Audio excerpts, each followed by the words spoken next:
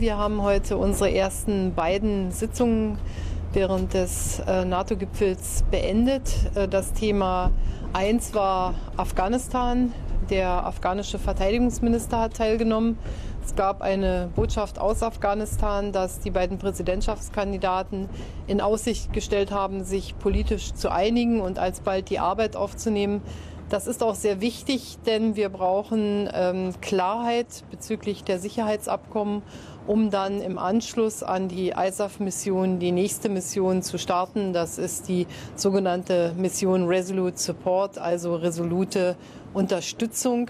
Hier geht es um die Unterstützung der afghanischen Sicherheitskräfte. Deutschland wird im Norden in Masar al-Sharif bleiben und von dort aus äh, seinen Beitrag zur Stabilisierung zu leisten, aber eben keine Kampfeinsätze mehr machen. Wir haben deutlich gemacht, welche Erfolge es gibt. Ein Beispiel, in Afghanistan gehen heute acht Millionen Kinder zur Schule zu Beginn des Einsatzes waren es weniger als eine Million. 40 Prozent davon sind Mädchen. Das gab es früher überhaupt nicht. Und das Pro-Kopf-Einkommen von Afghanistan hat sich verfünffacht. Es gibt also gute Chancen, wenn wir die Sicherheit erhalten können, dass das Land sich gut entwickeln kann. Aber es ist natürlich noch ein langer Weg, denn von vollständiger Sicherheit sind wir noch ein ganzes Stück entfernt. Der zweite Sitzungsblock heute Nachmittag war dem Thema NATO-Ukraine-Rat gewidmet. Man muss wissen, dass es eine besondere Partnerschaft zwischen der Ukraine und der NATO seit 1997 gibt. Und auf dem NATO-Gipfel in Bukarest ist das nochmal bekräftigt worden. Und wir haben heute auch über nächste Schritte gesprochen. Hier geht es vor allen Dingen um die sogenannte Interoperabilität.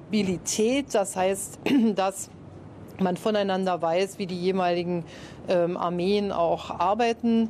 Es geht nicht um eine Mitgliedschaft in der NATO. Hier ähm, haben wir einen Bericht des ukrainischen Präsidenten bekommen und wir hatten ja auch im kleineren Kreise heute bereits ein Gespräch mit ihm.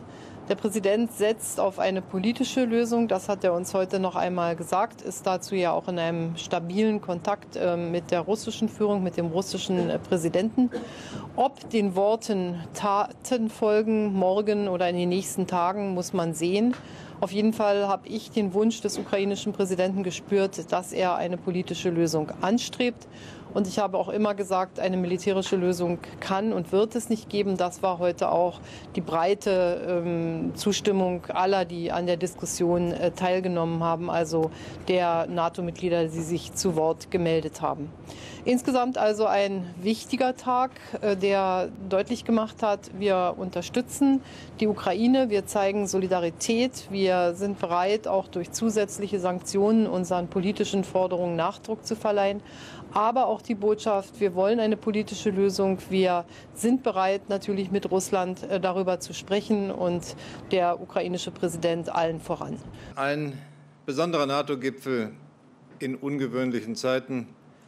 Ungewöhnlich deshalb, weil man lange zurückdenken muss, um sich an eine Zeit zu erinnern, in der wir nicht nur bedrohliche Krisen, sondern eine solch große Vielzahl wirklich gefährlicher Konflikte und diese gleichzeitig rund um den Erdball hatten. Und die gefährlichste für Europa dazu in unserer unmittelbaren osteuropäischen Nachbarschaft. Dort steht viel auf dem Spiel. Die Frage von Krieg und Frieden in Osteuropa, das Leben von Menschen, die Einheit der Ukraine und auch die Prinzipien einer europäischen Sicherheitsarchitektur in deren Schutz wir eben auch leben. Und deshalb ist das eben kein normaler NATO-Gipfel.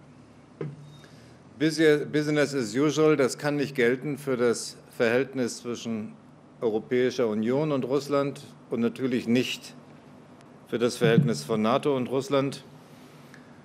Und deshalb natürlich auch kein Business as usual hier auf diesem NATO-Gipfel in Wales, sondern sehr ernsthafte, sehr nachdenkliche Diskussionen darüber, wie wir auf das russische Vorgehen gegenüber der Ukraine, die Annexion der Krim, die Unterstützung der Separatisten bis zuletzt, wie wir auf all das antworten.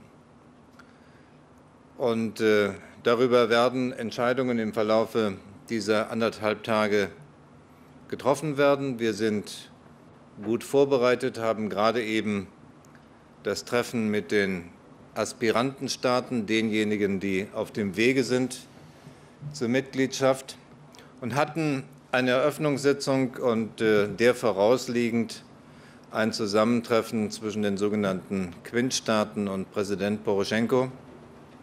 Und weil das so war, sage ich natürlich, bereiten wir uns vor auf die notwendigen Antworten der NATO auf die Herausforderungen, die sich aus der Russlandpolitik gegenüber der Ukraine ergeben. Aber die Anwesenheit so vieler hier in Wales wird natürlich auch genutzt, um Wege aus der gegenwärtigen Krise, ich sage noch mal, den gefährlichsten Konflikt, den Europa seit Jahren und Jahrzehnten erlebt hat, Wege aus dieser Krise zu suchen.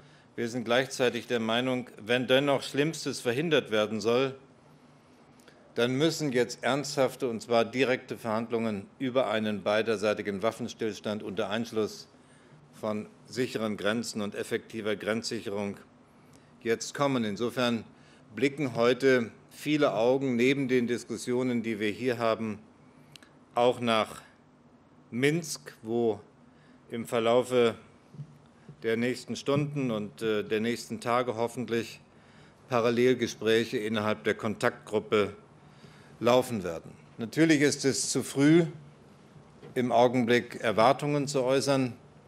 Mitzuteilen ist nur, dass sich Präsident Poroschenko heute in den Gesprächen, die wir mit ihm hatten, ganz vorsichtig, zuversichtlich gezeigt hat, dass jetzt doch eine Phase eingetreten ist, in der ernsthaft verhandelt wird und äh, in der man vielleicht im Laufe der Woche auch zu ersten Ergebnissen kommen kann.